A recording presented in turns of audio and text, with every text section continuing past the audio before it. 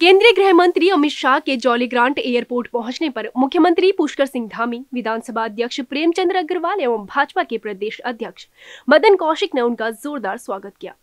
उत्तराखंड भाजपा के कई नेताओं के असंतुष्ट सुर से पार्टी को चुनावी साल में फजीहत झेलनी पड़ रही है। केंद्रीय गृह मंत्री अमित शाह शनिवार ऐसे नेताओं पर सख्ती कर सकते हैं।